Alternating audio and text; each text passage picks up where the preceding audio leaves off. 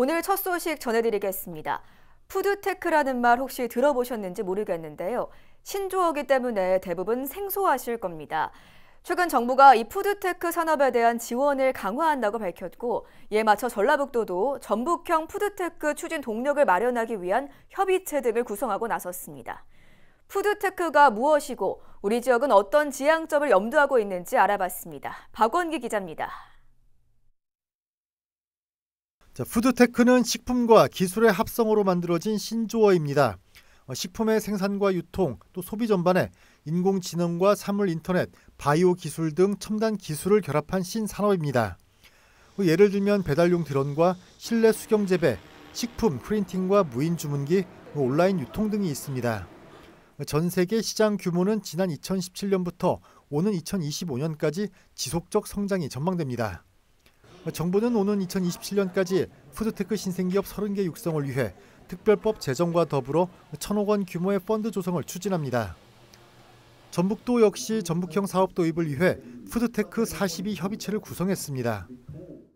전라북도는 50여 개의 농생명 혁신기관과 그 농생명 분야에 한 1,800여 명의 박사급 인력이 상주하고 있습니다.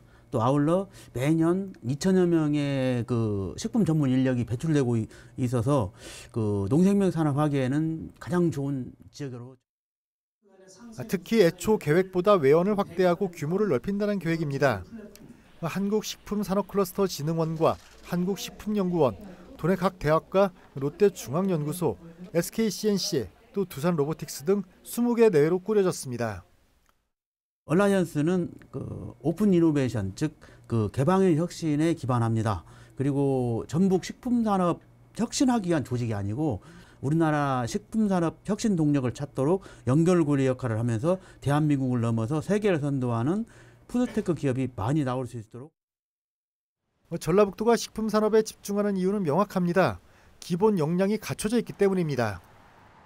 맛의 고장 전북의 이미지와 함께 익산을 중심으로 한 국가식품클러스터로 더불어 미래 식품 산업을 선도해 나가는 부분이 전라북도의 강점이라고 생각합니다.